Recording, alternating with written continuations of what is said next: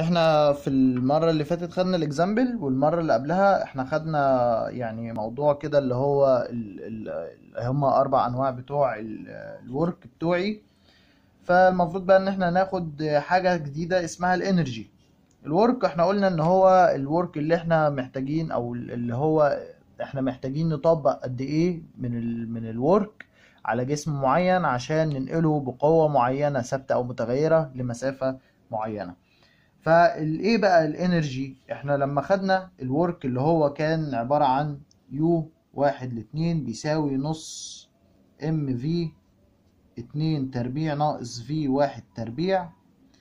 نقدر ان إحنا نفكه بيساوي نص m v اتنين تربيع ناقص نص m v واحد تربيع. والله هما بقى عملوا حاجة اسمها ال kinetic energy. kinetic energy. ورمزوا لها بالرمز T وقال لك إن ال T واحد أو ال T اتنين هتساوي النص m v اتنين تربيع وإن ال T واحد تكون بتساوي نص m v واحد تربيع. يبقى أنت عندك ال T اتنين ناقص ال T واحد هتساوي ال U من واحد لغاية اتنين. يعني نقول برضو delta T بيساوي U من واحد لغاية اتنين.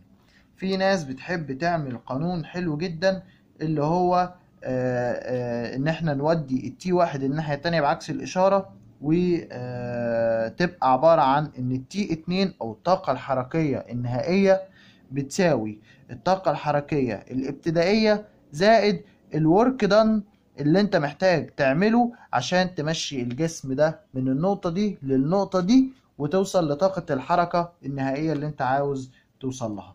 الموضوع ده سهل وموضوع بسيط يعني وما فيهوش اي يعني تعقيدات ولكن القانون ده من ضمن القوانين المهمة اللي إحنا هنستخدمه بعدين أكتر.